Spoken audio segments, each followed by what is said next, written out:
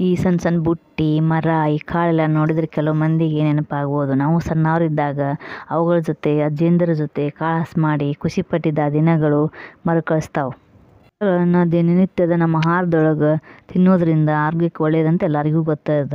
ಹಂಗೆ ಮೊದ್ಲಿನ ಮಂದಿ ಕಾಳು ಪಲ್ಲೆ ರೊಟ್ಟಿ, ಕಟ್ಕೊಂಡು ಹೊಲಕ್ಕೆ ಹೋಗಿ ಹೊಲ್ದಾಗ ಕೆಲಸ ಮಾಡಿ ಆದ್ಮೇಲೆ ಗಿಡದ ನೆರಳಿಗೆ ಕುತ್ಕೊಂಡು ಅದ್ರ ಜೊತೆ ಹಸಿ, ಉಳ್ಳಾಗಡ್ಡಿ, ಸೌತೆಕಾಯಿ ಟೊಮೆಟೊ ಕಡ್ಕೊಂಡು ಹೊಟ್ಟೆ ತುಂಬ ಊಟ ಮಾಡಿ ಮ್ಯಾಲೆ ತತ್ರಾಣಿ ಒಳಗಿನ ನೀರು ಕುಡಿದು ಬೇವಿನ ಮರದ ಕೆಳಗೆ ಮಲ್ಕೊಂಡ್ರು ಅಂದ್ರೆ ಸ್ವರ್ಗ ಸುಖ.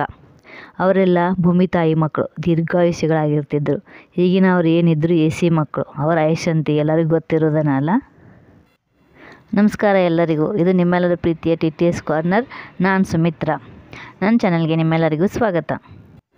ಇವತ್ತು ನಾನಿಲ್ಲಿ ಕಾಳುಗಳನ್ನು ಮೊಳಕೆ ಬರೆಸೋ ಒಂದೆರಡು ಟಿಪ್ಸನ್ನು ಹೇಳೋಕ್ಕೆ ಇದ್ದೀನಿ. ಯಾಕಂದರೆ ಕಾಳುಗಳು ಮೊಳಕೆ ಬರೆಸಿ ತಿನ್ನೋದ್ರಿಂದ ಅಂತೂ ಆರೋಗ್ಯಕ್ಕೆ ಇನ್ನೂ ಒಳ್ಳೆಯದಂತ ಎಲ್ಲರಿಗೂ ಗೊತ್ತಿರೋದನ್ನ ಅದ ಕಾಳು ತೊಗೊಂಡಾದ್ಮೇಲೆ ಕಾಳುಗಳನ್ನ ಎರಡು ಮೂರು ಸತಿ ಚೆನ್ನಾಗಿ ನೀರಾಗ ತೊಳಿಬೇಕು. ತೊಳೆದಾದ್ಮೇಲೆ ಅವು ನೀರೊಳಗೆ ಒಂದು ಹತ್ತು ಹನ್ನೆರಡು ತಾಸು ನೆನೆ ಇಡಬೇಕು ಅವನ್ನ ಈಗ ಮೊದಲೇ ಟಿಪ್ಸ್ ನಾನು ನಿಮಗೆ ಹೇಳ್ತೀನಿ. ಕಾಳುಗಳು ಮೊಳಕೆ ಬಂದಾದ್ಮೇಲೆ ವಾಸನೆ ಬರಬಾರ್ದು ಅಂದ್ರೆ ನೆನೆದ ಕಾಳುಗಳನ್ನ ಮತ್ತೊಂದು ಎರಡು ಮೂರು ಸತಿ ನೀರಾಗಿ ತೊಳೆದು ಇಂಥದ್ದೊಂದು ಕಾಟನ್ ಅರ್ಬಿ ತೊಗೋಬೇಕು. ಯಾವುದೇ ತಗೋರಿ ಕಾಟನ್ ಅರ್ಬಿ ತೊಗೊಂಡಾದ್ಮೇಲೆ ಆ ಕಾಳುಗಳನ್ನು ಆ ಅರ್ಬಿ ಒಳಗೆ ಹಾಕಿ ಹಿಂಗೆ ಸುರಿದ ಚೆಂದಾಗಿ ಗಂಟು ಕಟ್ಟಿ ಹಿಂಗೆ ಗಂಟು ಕಟ್ಟಿ ಇಡಬೇಕು. ಈಗ ನಾನು ನಿಮ್ಗೆ ಎರಡನೇ ಟಿಪ್ ಹೇಳಾಕತ್ತೀನಿ. ಕಾಳುಗಳು ಭಾಳ ಒಣಗಿದ್ರೂ ಸರಿ ಮೊಳಕೆ ಬರೋಂಗಿಲ್ಲ ಮತ್ತು ನೀರು ನೀರಾಗಿದ್ರೂ ಸರಿ ಮೊಳಕೆ ಬರೋಂಗಿಲ್ಲ.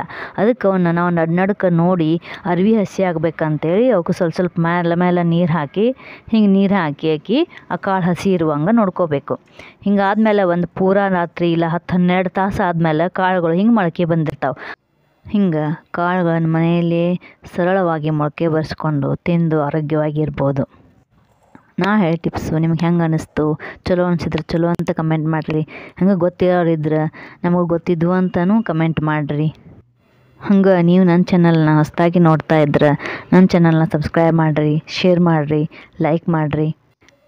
ಇಲ್ಲಿವರೆಗೂ ನನ್ನ ಚಾನಲ್ನಲ್ಲಿ ನನ್ನೊಂದಿಗಿದ್ದ ನಿಮ್ಮೆಲ್ಲರಿಗೂ ಧನ್ಯವಾದಗಳು. ಮತ್ತೊಂದು ಸತ ಸಿಗ್ತೇನೆ. ಎಲ್ಲರಿಗೂ ನಮಸ್ಕಾರ.